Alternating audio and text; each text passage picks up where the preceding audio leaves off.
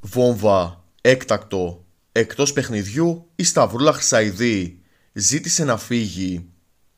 Πριν συνεχίσουμε στο βίντεο, μια εγγραφή στο κανάλι και ένα like μας βοηθά να συνεχίσουμε την έγκαιρη ενημέρωσή σας.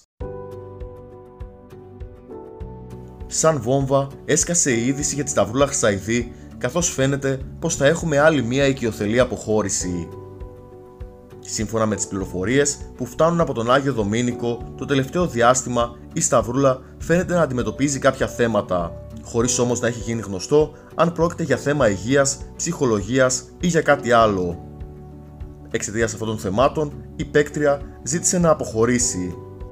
Μάλιστα, η δικηγόρος της Σταυρούλας ανέβασε στο Twitter τη δημοσίευση που βλέπετε αυτή τη στιγμή στην οθόνη σας, γράφοντας χαρακτηριστικά Πάμε για άλλα. Η παραγωγή θέλει να την κρατήσει και αυτή τη στιγμή γίνονται διαπραγματεύσεις με την παίχτρια, αλλά η Σταυρούλα επιμένει ότι θέλει να φύγει. Σύντομα θα σας έχουμε νέα για το θέμα.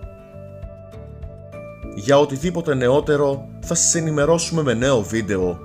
Για να μην το χάσεις, κάνε μια εγγραφή στο κανάλι μας. Ευχαριστούμε που μας παρακολουθήσατε.